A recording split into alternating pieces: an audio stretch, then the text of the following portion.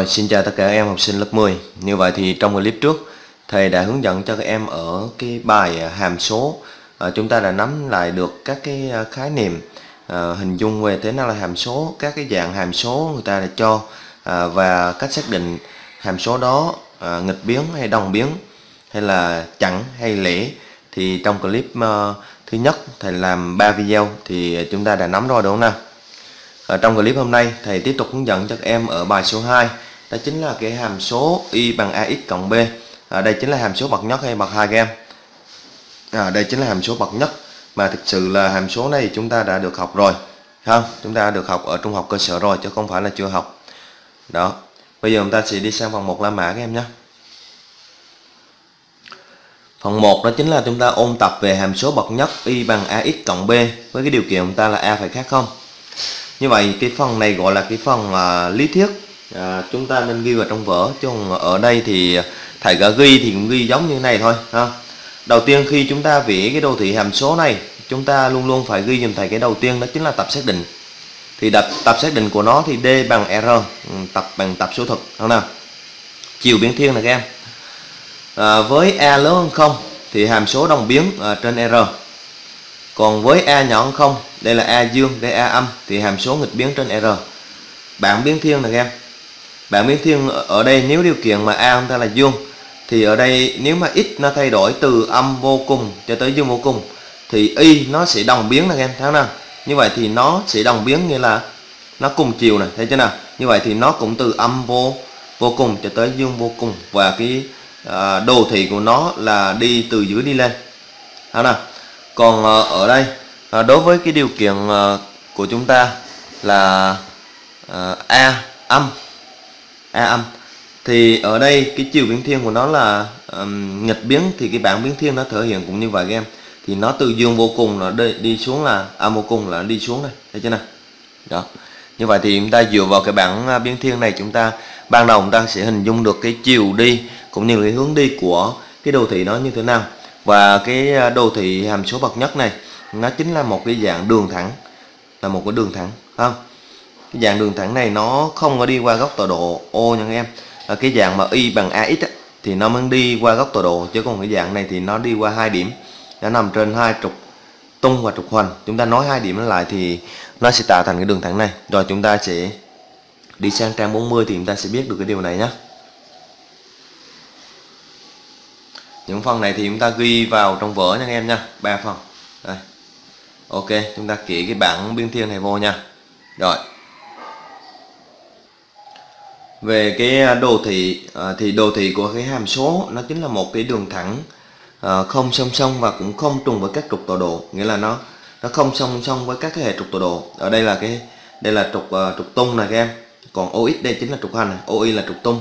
Thì cái đường thẳng y bằng AX cộng B này các em thấy nào thì nó đi qua hai điểm nó nằm trên hai hai trục tọa độ này em thấy nào đó. mà các em thấy nó giống như cái bảng biến thiên đúng chưa? Nó sẽ đi từ uh, âm uh, âm vô cùng cho tới dương vô cùng thấy chưa nào. Đó. Còn ở bên đây thì nếu mà a nhỏ không thì nó đi từ gì? Từ dương vô cùng à? Từ âm uh, âm vô cùng. Cho tới dương vô cùng hay? Từ dương nhé thầy lỗi từ dương vô cùng tới âm vô cùng. Đó. Ok. Và cái đường thẳng này nó như nào với cái đường thẳng y bằng ax nó sẽ song song với đường thẳng y bằng ax ha, đó. Bây giờ chúng ta sẽ đi sang cái hoạt động 1 em nhé. Rồi, chúng ta đi sang cái hoạt động 1 em vẽ đồ thị hàm số. Đầu tiên à, thầy sẽ vẽ cho các em cái đồ thị hàm số à, y bằng à, 3x cộng 2 ở đây cái điều kiện chúng ta, a đây là dương này em. 3 đây chính là số dương, nghĩa là a lớn hơn không em thì đầu tiên để vẽ thì bước đầu tiên chúng ta tìm d tập xác định là d bằng r. Phải nào? Cái à, bảng biến thiên à, bảng biến thiên này em thì ở đây nó rơi vào cái trường hợp là a a lớn không? Nghĩa là à, a dương thì à, cái bảng biến thiên của nó chúng ta cũng kỹ theo cái điều kiện của a dương anh em ha? Như vậy đây là x thì nó sẽ thay đổi từ âm vô cùng cho tới dương vô cùng. Còn y như vậy thì nó cũng sẽ thay đổi từ âm vô cùng cho tới gì? Ở đây là dương vô cùng ta đánh dấu mũi tên. Chiều bên kia của nó. Được chưa nào? Đó. Ok các em hiểu chưa nào? Bây giờ chúng ta sẽ tiến hành cho điểm. À, lập cái cái cái, cái bảng à, cho điểm nha các em ha. Bảng giá trị. Bảng giá trị thì ở đây à, chúng ta sẽ cho tương ứng, các em ạ.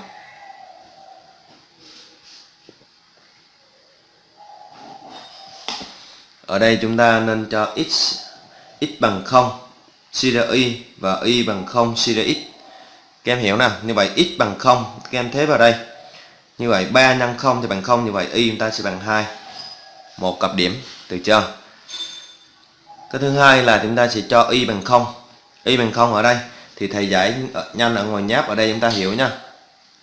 À, y bằng 0 nghĩa là gì? Nghĩa là 3x cộng 2 này sẽ bằng 0 nghĩa là 3x này sẽ bằng âm 2 suy ra x này sẽ bằng âm 2 phần âm 2 phần 3 các em hiểu chưa? À, x bằng âm 2 phần âm 2 phần 3 sau khi chúng ta có uh, các cặp điểm rồi thì uh, chúng ta sẽ tiến hành vẽ các em hiểu không nào? Đó rồi bây giờ chúng ta sẽ dùng thước chúng ta vẽ ha. Thầy nghĩ ờ, phần này ờ, bạn nào làm cũng được. Cái thước của thầy ngay chỗ đây nó bị ấy. Như vậy ở đây là trục tung này, hoàn này, góc tọa độ O OI này, X này. Như vậy ở đây ờ, chúng ta chia cho các cái khoảng cách của nó cho nó đều ha. Một hai ở đây. Ở đây là âm 1 âm 2 1 2 ví dụ thế ha. Đây, âm 1 âm 2 rồi. X bằng 0 y bằng 2 x bằng 0 y bằng 2 là đây các em, một điểm này. Đó. Các em hiểu không? X bằng 0 y bằng 2 là đây. Điểm thứ nhất uh, x bằng âm 2 phần 3 y bằng 0 nghĩa là âm 2 phần 3 thì nó nằm ở bên đây âm. Như vậy thì ở đây âm 2 phần 3 này các em nhìn thầy thầy chia này. Nghĩa là từ 0 cho tới âm 1 này chúng ta sẽ chia thành mấy mấy phần em? Ờ, à, 3 phần chúng ta lấy mấy phần? Hai phần. À, âm 1 phần 3 này âm 2 phần 3 này này nhìn này. Âm 1 phần 3 âm 2 phần 3 âm 3 phần 3 này. Âm 3 phần 3 nghĩa là âm 1 không em? Như vậy thì ở đây uh, âm 2 phần 3 là nằm nằm ở chỗ đây. Đó âm 2 phần 3 sau đó chúng ta sẽ nói hai cái điểm này lại. Đó. Ha. Thì đây chính là cái đồ thị của hàm số y bằng à, 3x cộng 2 được chưa? Đó. Nó dễ hiểu như vậy thôi em.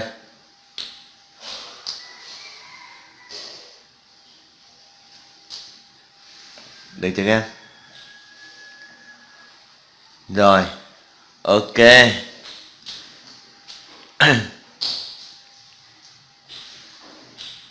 Rồi, ta đi sang à, cái à, à, hàm số thứ hai nha.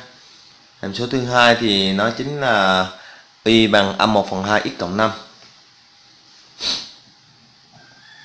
y bằng âm 1 phần 2 x cộng cho 5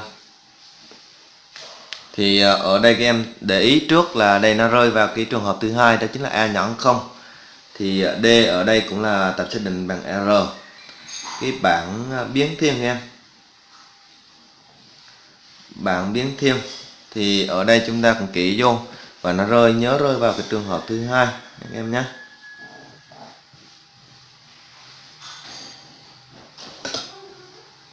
Ở đây là x, đây là y. X thì năm thay đổi từ âm vô cùng cho tới dương vô cùng. Ở đây y á, thì nó sẽ thay đổi từ dương vô cùng cho tới đây là âm vô cùng. Đi xuống các em à được chưa? Bây giờ chúng ta sẽ lập cái bảng giá trị. Bảng giá trị.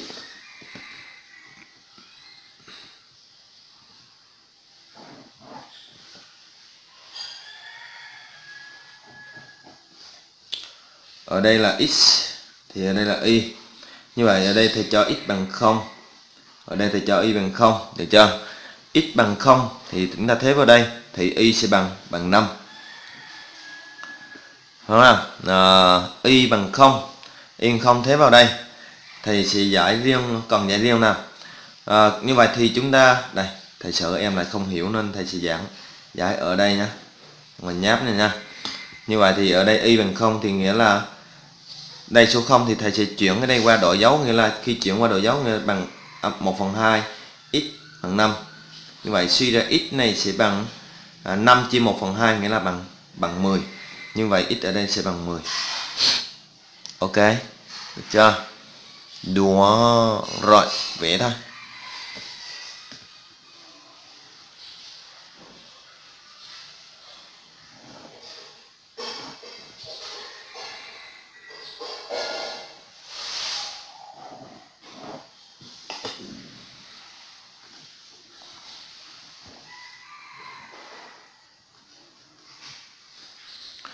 Ở đây thầy biết là nó là 5 với 10 thì thầy sẽ chia cứ một ô ở đây là 5 đơn vị đây.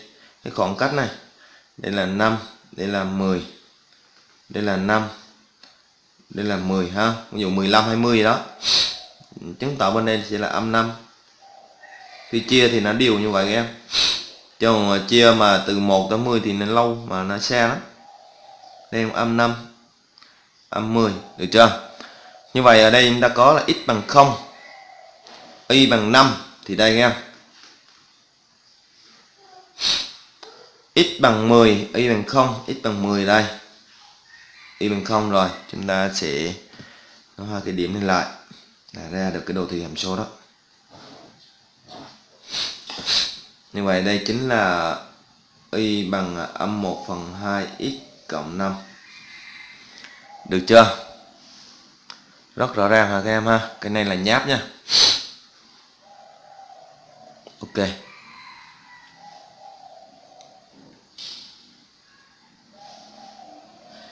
Rồi. Chúng ta đi sang phần uh, tiếp theo các em nhé.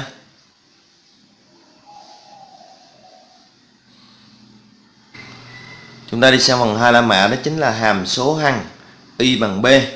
Hàm số hằng y bằng b. B đây là dạng tổng quát ha các em ha? Chúng ta đi sang hoạt động hai em. Cho hàm số hằng uh, ờ, gọi là hàm hằng này em. Ở trong chương trình trung học cơ sở chúng ta đã biết rồi hàm hằng không nào? Uh, nghĩa là khi chúng ta cho x uh, ờ, bất kỳ giá trị nào nhưng chúng ta luôn luôn nhận được một giá trị duy nhất thì đó chính là hàm hằng ha. Cho hàm số hằng y bằng 2 xác định giá trị của hàm số tại âm 2 cho tới 2 như vậy thì ở đây xác định hàm số uh, tại uh, x bằng âm 2 thì đây các em. Đây.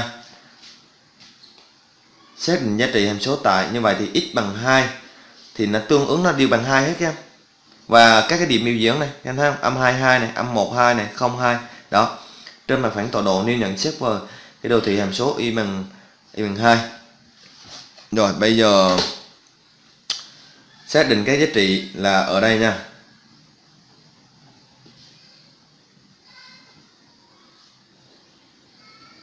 Của hàm số.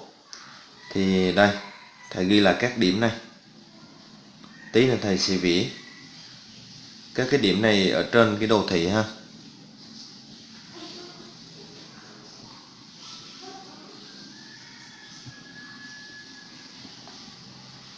Rồi ờ, à, gì đây biểu diễn các điểm trên mặt phẳng tọa độ nên nhận xét về đồ thị của hàm số y bằng 2 rồi. Biểu diễn.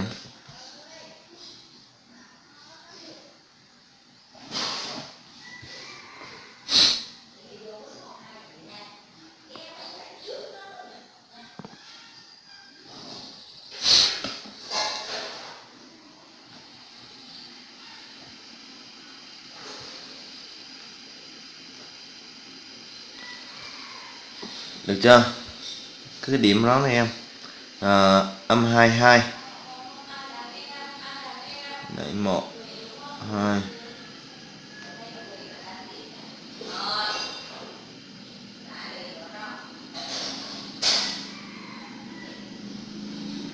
Âm 2 đây em.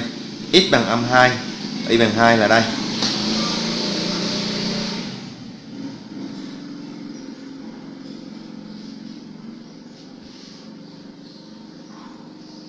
chỉ như lông các em. Một điểm. Đó. Nè. Âm 1 âm 1 2 đây. Hai điểm. 02 3 điểm. 12 đây, một đây nha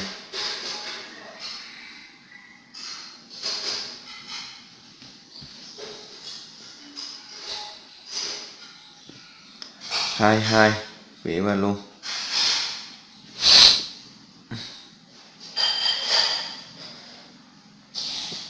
Đó. Được chưa? Ok chưa nào? Như vậy thì tiếp tục. À, trên mặt phẳng tọa độ như nhận xét về đồ thị hàm số y bằng 2 thì cái đồ thị hàm số ở đây số 2 này. Cái đồ thị hàm số y bằng 2 à, là một cái đường thẳng. Nó song song với trục gì đây các em? Song song với trục hoành và nó đi qua cái điểm có giá trị là bằng 2 nhưng mà đây chính là đồ thị hàm số y bằng 2 này. Là hàm hằng được chưa? Đó, đi qua, nó đi qua tất cả năm cái điểm này. Các em thấy nó sẽ song song với trục hoành này. Các trục tung tại điểm có tung độ bằng 2 này. Đó. Ok. Rồi. Đó chính là nhận xét. Như vậy thì ở đây các em có cái dạng tổng quát cái phân này các em ghi vào dùm thầy nhé đồ thị của hàm số y bằng b là một đường thẳng song song hoặc trùng với trục hoành này. Và các trục tung tại điểm có cái tung độ đó chính là 0b đường thẳng này gọi là đường thẳng y bằng b, gọi là hàm hằng này đây. Các em. Thì hồi nãy thầy đã biểu diễn và giải cho các em thì các em đã hiểu rồi. Bây giờ chúng ta đi sang phần 3 là hàm số y bằng giá trị tuyệt đối của x. Rồi, chúng ta có phần 3 la mã, đó chính là hàm số y bằng giá trị tuyệt đối của x thì ở trung học cơ sở chúng ta chưa được vẽ và chưa được uh, nghiên cứu cái hàm số này. Lên chương trình phổ thông bây giờ chúng ta mới bắt đầu nghiên cứu nè các em. Thì cái hàm số y bằng uh, giá trị đối của x có liên quan chặt chẽ với hàm số bậc nhất. Ha như vậy liên quan như nào thì chúng ta đi sang trang 41 nhé thì uh, để vẽ được cái hàm số này chúng ta cũng đi làm uh, các cái bước cũng giống như cái hàm số y bằng ax cộng b các em. Như vậy đầu tiên là chúng ta sẽ đi tìm tập xác định của nó như vậy thì cái hàm số y bằng là giá trị đó của x thì tập xác định của nó các em cũng nhớ chúng thầy cũng là d bằng r nha. Cái thứ hai à, chúng ta đi sang chiều biến thiên. Như vậy thì các em nhớ lại dùm thầy à, cái giá trị tuyệt đối của x thì nó sẽ chia thành hai trường hợp. Trường hợp thứ nhất nếu như x này dương x này dương với với cái điều kiện của chúng ta là x này sẽ là không âm nghĩa là lớn bằng không. Còn à, ở đây nếu mà ra âm x nếu x này nó là số âm, là nhỏ hơn không? Không nào? Thì từ đó chúng ta suy ra gì? Đây em, chúng ta phần này chúng ta ghi vào này, ghi cái này vào dùm thầy nhá. Sau đó chúng ta ghi phần này nữa này. Hàm số y bằng giá trị đối của x, nghịch biến trên khoảng là từ âm vô cùng cho tới không, và đồng biến trên khoảng là từ không cho tới dương vô cùng. Nhớ dùm thầy nha phần này nha và đồng thời chúng ta cũng vẽ dùm thầy cái bảng biến thiên. Cái bảng biến thiên này các em. Đây thì nó cũng nhưng mà ở chính giữa này nó có thêm số 0 các em nhé thêm số 0 như vậy thì ở đây âm vô cùng cho tới không cho tới dương vô cùng. Thì đây là từ nó sẽ à, biến thiên từ ở đây là dương vô cùng cho tới không không tới dương vô cùng. Được chưa? Đó. Thì à, ban đầu chúng ta sẽ hình dung được cái đồ thị hàm số của nó có cái hình vẽ là như thế này. Ok. Rồi. Ừ. rồi cái đồ thị hàm số nữa em. Chúng ta nhìn một xíu về đồ thị hàm số này. Và trong nửa khoảng là từ 0 cho tới dương vô cùng thì cái đồ thị hàm số y bằng giá trị đối của x trùng với đồ thị của hàm số y bằng x. À, y bằng x thì chúng ta chỉ biết được là phía bên đây. Còn trong cái khoảng từ âm vô cùng cho tới không âm vô cùng ở đây. Thì là chúng ta hiểu là đây là âm vô cùng này. Cái bên đây là dương vô cùng này thì nếu mà từ 0 cho tới dương vô cùng thì nó trùng với cái đồ thị hàm số y bằng x là đây cái đường đây không? đáng lẽ người ta sẽ quỷ xuống đây nhưng ta ngầm hiểu là như vậy. À, còn à, ở trong cái khoảng từ âm vô cùng cho tới không thì nó trùng với hàm số y bằng âm x là cái đường này. Đáng lẽ người ta vĩ xuống nhưng mà à, hai đồ thị này là giao nhau ở đây ở ô này. Đó nè. Chú ý thì cái hàm số y bằng giá tuyệt đối của x là một hàm chẵn nha là một hàm số chẵn nha anh em nha hàm số chẵn. Đồ thị của nó nó nhận OI làm trục đối xứng. Đây trục đối xứng này. trục tung là trục đối xứng nha các em nha. Các em đã hiểu ờ, về ờ, những cái phần này chưa các em? Phần này mang tính chất là giới thiệu cho các em thôi các em ạ. Rồi à, bây giờ trong clip tiếp theo á thầy sẽ làm cho em ở bài tập. Còn clip này chỉ là clip tiết lý thuyết thôi được chưa nào? Ok xin chào lại các em trong clip tiếp theo nhé. Nhớ giúp thầy chia sẻ bài giảng của thầy nha.